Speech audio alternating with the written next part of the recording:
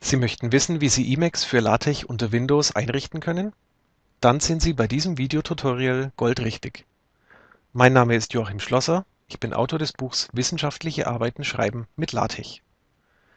Wir verwenden das Installationstutorial von www.latexbuch.de.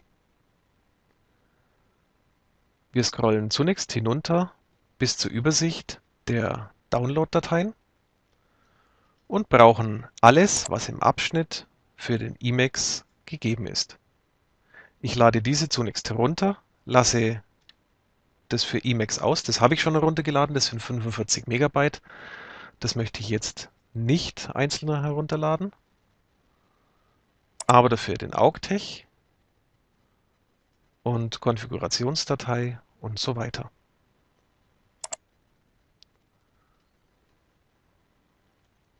Für den GNU ASPEL brauchen wir sowohl den Installer als auch ein Wörterbuch. Ich nehme hier einfach das deutsche Wörterbuch.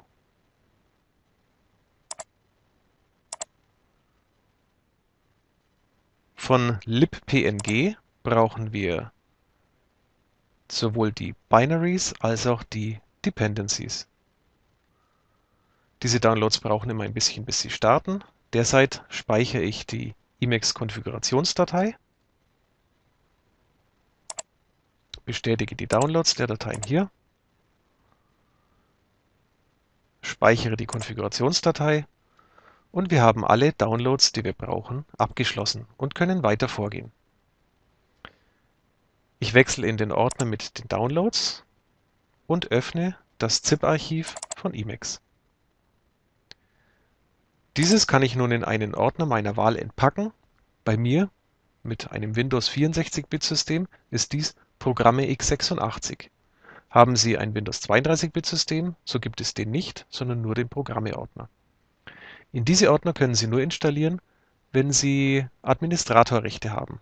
Ansonsten suchen Sie sich bitte einen anderen Ordner raus. Beim Entpacken schweige ich kurz, dann kann ich das Video nämlich beschleunigen.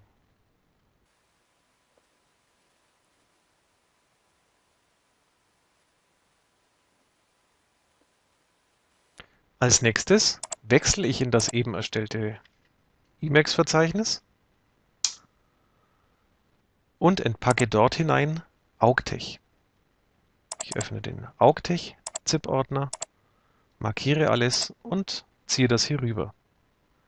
Bestätige das Integrieren der Ordner und bestätige gleich auch das Überschreiben einer Datei.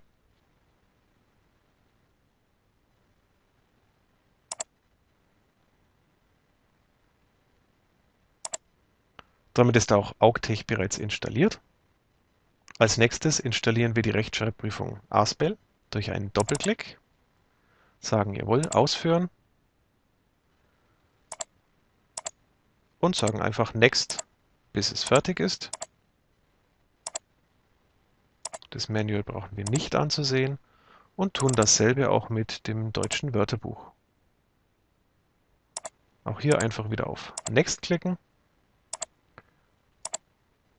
und damit sind wir auch schon wieder fertig. Nun wollen wir Emacs auch zum Startmenü hinzufügen. Dazu wechseln Sie in das Bin-Verzeichnis und rufen das Programm add-pm auf. Er fragt, ob er das so machen soll. Das bestätigen wir. Als nächstes installieren wir die libpng. Die hat den Vorteil, dass Sie die Voransichten mit Preview LaTeX auch PNG-Grafiken erzeugen lassen können, was einfach schneller geht und auch besser aussieht. Dazu wechsle ich in das ZIP-Archiv, ins Bin-Unterverzeichnis und entpacke die beiden DLLs auch in dieses Bin-Verzeichnis hier. Dasselbe mache ich mit der libpng äh, Dependency Archiv und auch hier entpacke ich wieder die DLL in das Verzeichnis.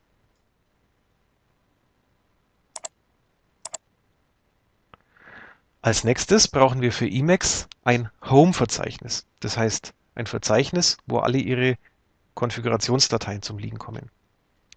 Im Normalfall ist dies unter Windows das Verzeichnis C User und dann Ihr Login-Name. Da es das bei mir schon gibt und ich Ihnen eine neue Einstellung, dazu habe ich die Windows-Taste Unterbrechen gedrückt, um in diesen Dialog hier zu kommen. Klicke auf Erweiterte Systemeinstellungen, Umgebungsvariablen und sage jetzt bei meiner Home-Variable, die es schon gibt, bearbeiten. Wenn es die bei Ihnen noch nicht gibt, dann sagen Sie natürlich neu. Ich habe diese jetzt auf %user-profile gesetzt. Das ist genau dieses Verzeichnis c-user und dann mein Profilname. Wir wollen jetzt ein Verzeichnis c backslash home dafür verwenden.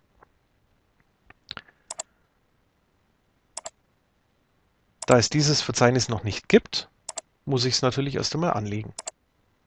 Sage also neu Ordner Home.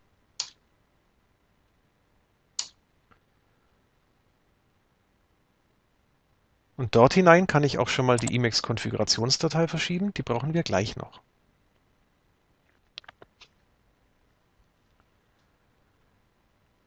Als nächstes wollen wir natürlich auch noch, dass wir .tex, also .tech-Dateien mit einem Doppelklick auf dieses Dokument direkt im Emacs öffnen lassen können.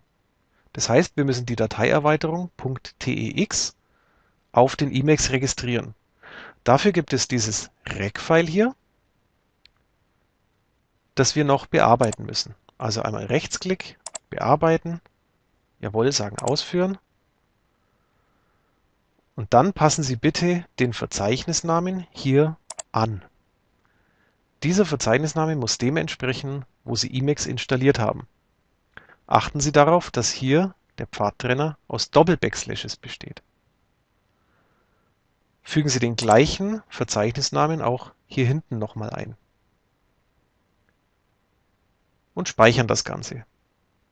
Wenn Sie ein deutsches Windows haben, können Sie trotzdem Program Files stehen lassen. Das ist bei mir der Fall.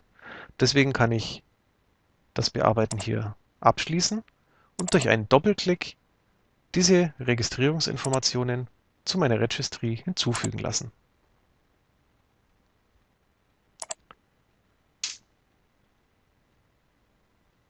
Nun öffnen wir zum ersten Mal Emacs. Und zwar, wir haben ja installiert und können deswegen jetzt sagen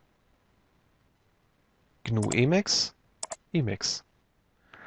Beim ersten Öffnen fragt er Sie, ob er diese aus dem Internet geladene Datei wirklich öffnen soll. Das wollen wir, aber nächstes Mal diese Frage nicht mehr bekommen. Deswegen entfernen Sie bitte den Haken und sagen Ausführen.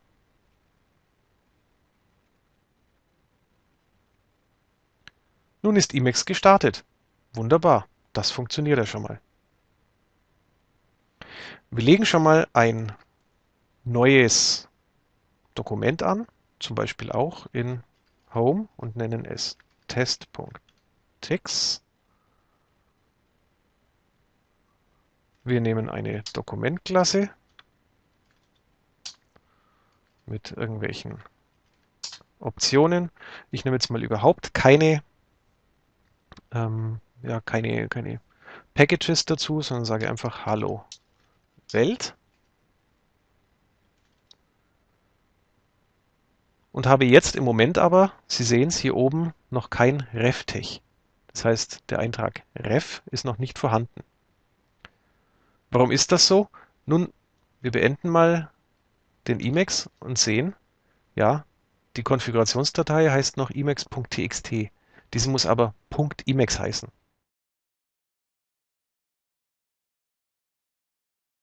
cmd ein und wechseln in unser Home-Verzeichnis und sagen dann, bitte umbenennen die Datei emacs.txt nach .emacs.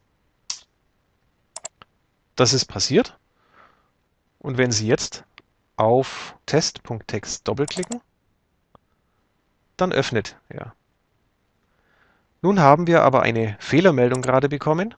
Die ist jetzt leider schon wieder verschwunden. Die aussagt, dass dieses Verzeichnis hier unsicher sei. Diese Fehlermeldung bekommen Sie immer dann, wenn Sie mit einem Account mit Administratorrechten arbeiten. Wenn Sie das nicht tun, bekommen Sie diese Fehlermeldung nicht.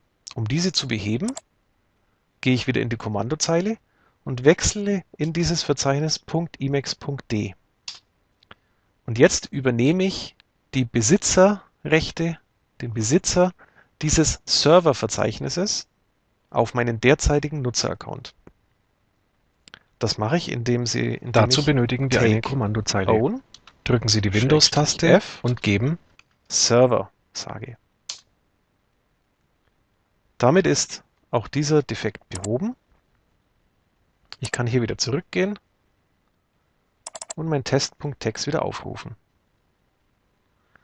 Wenn Sie diesen Startbildschirm nicht mehr sehen wollen hier, dann sagen Sie einfach Never show it again, dismiss this startup screen. Und wir sehen, jetzt haben Sie auch den Ref-Eintrag in Ihrem Menü.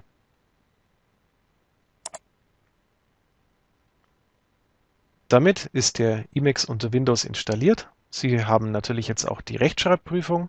Das heißt, wenn ich jetzt mein eSpell Change Dictionary aufrufe und dann zum Beispiel hier ein German 8 eintrage, dann kann ich auch direkt ein Flyspell Buffer zum Beispiel aufrufen